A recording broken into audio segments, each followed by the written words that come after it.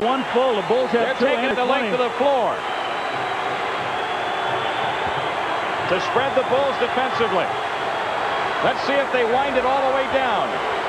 Inside Bird of 10 low, seconds. bird low. You can't double yet. Now you can quickly. Bird's jumper, good. With 3.6 seconds left, Larry Bird gives the Boston Celtics a two-point lead. The Celtics came down and executed beautifully.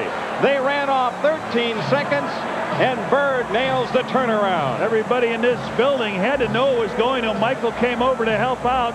If Scottie does anything, he's got to stay in front of him and make that pass go over the top. He plays him behind. He gets the ball. Your job is over, buddy. Bird for two.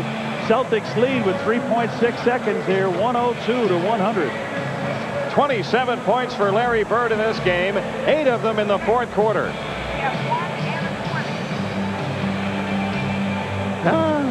There's plenty of time for the Bulls to do something about this two-point difference, though.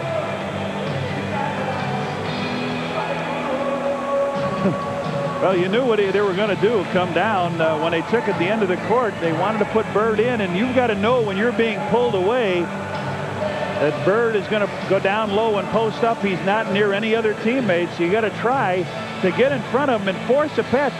You're going to play the three-point shooter tight. Then you got to play Bird in front to make the pass go over the top, and that's where you've got to expect help from the other side, Horace Grant or Bill Cartwright to come in. But once Bird caught the ball, you figured uh, your job was over, and Bird proved the point.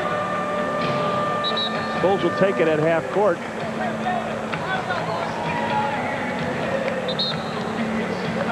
Bird down low, gets the ball behind. Michael comes over to try for the block, but nothing but net. Michael calls a timeout.